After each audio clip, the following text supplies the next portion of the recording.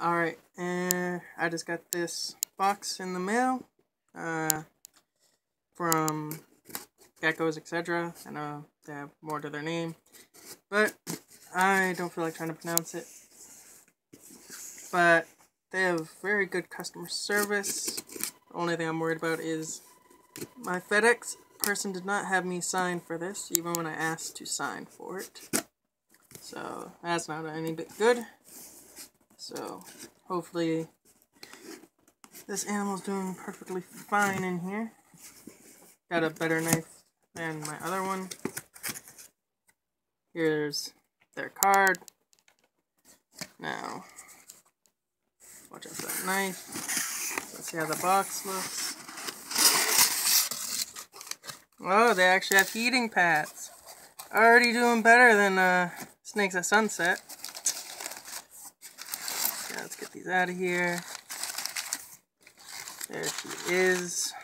Hopefully she's fine. Oh, do not see any movement.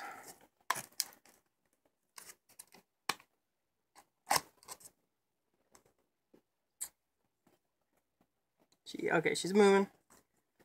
Can't see her head though. And I kind of do not want to get bit. But she's just a regular western hognose snake. Oh, I see her head. You can see it right there. Oh, she's coming out. A cute little hognose. She's a year old. She's 12 grams.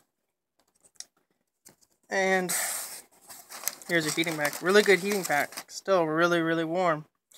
Though, I guess she wasn't kept too close to it to be nice and cool because I know westerns don't have to be really that warm. It's pretty chilly out.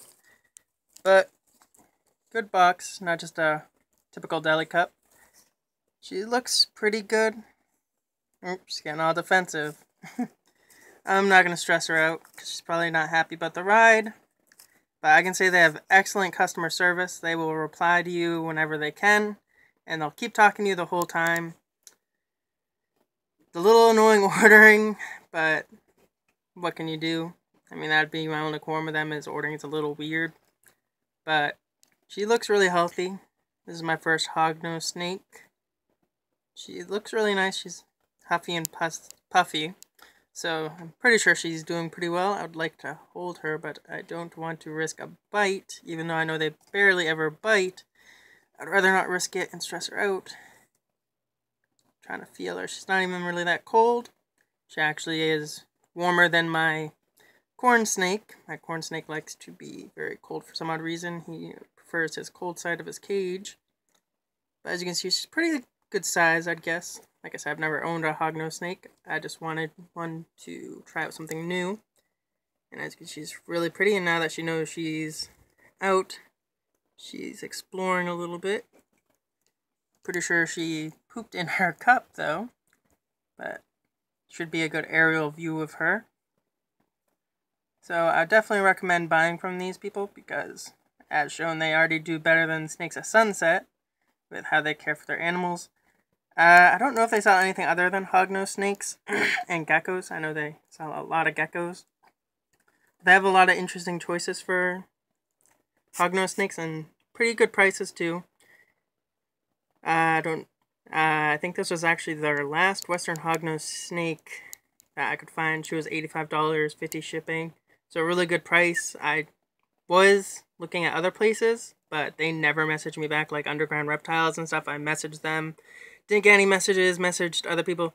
A lot of the other snake businesses are really bad with customer service. Like Snake at Sunset took two weeks to reply back to me after I ordered a ball python and asked them some questions on it.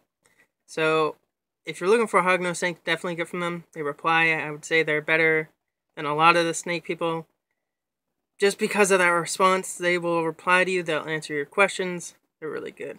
So if you have any questions on her, I'm going to get her cage ready. Uh, leave me a comment and I'll get to it.